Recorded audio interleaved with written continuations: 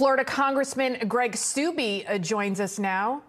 Congressman, thank you so much for joining us. You were yeah, at the weaponization hearing, hearing these explosive allegations firsthand.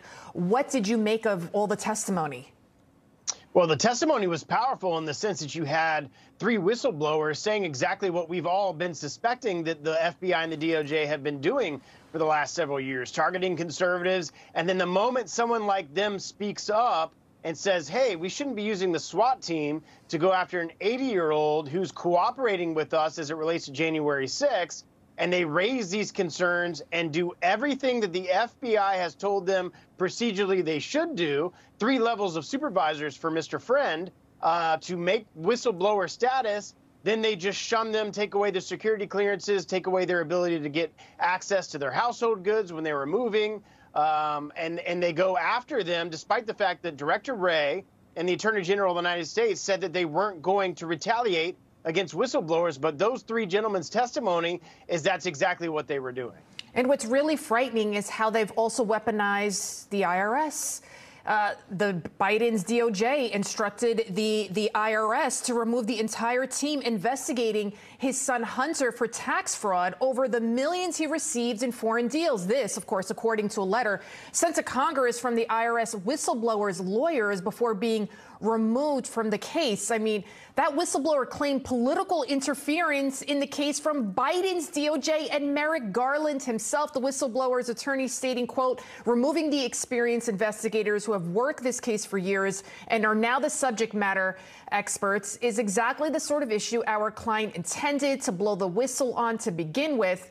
Uh, you, you, sir, you were the former acting attorney, uh, congressman, excuse me hearing these kind of stunning allegations, uh, to say that Biden was weaponizing and using the DOJ, using the IRS, what goes through your mind?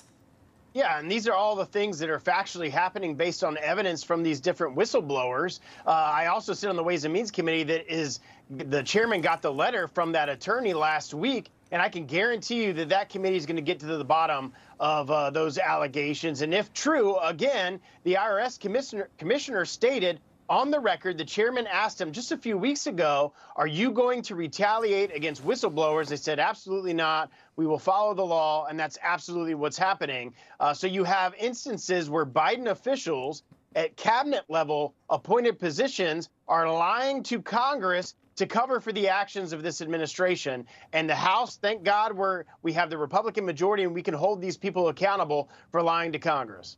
I mean, you have a lot of people that say, look, you had Trump, he was raided. This one's raided, that one's raided. And we're still waiting around to hear if anything comes of the federal investigation into Hunter Biden. It goes back, what, what now, almost seven years? So why did, yeah. why is this? I know this is a huge question, but why is there this blatant two-tier justice system, one for conservatives and one for everyone else?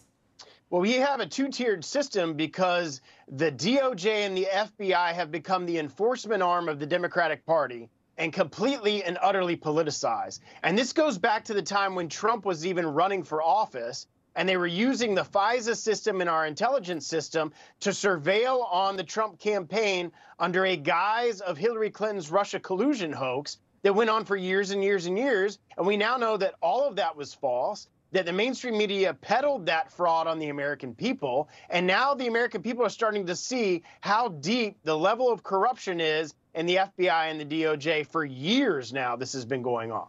I mean, you would hear Donald Trump, former President Trump, he constantly talked about the corruption and just how deep the state is, a deep state, deep, deep, and how he wanted to drain that swamp. And so many things he's been saying have been coming true. So hopefully more truths will, will come out. And thank you so much, Congressman, for your courage on speaking out for the truth. And thank you for being with us this evening. Anytime. Thanks for having me. All right, John Durham, he gives us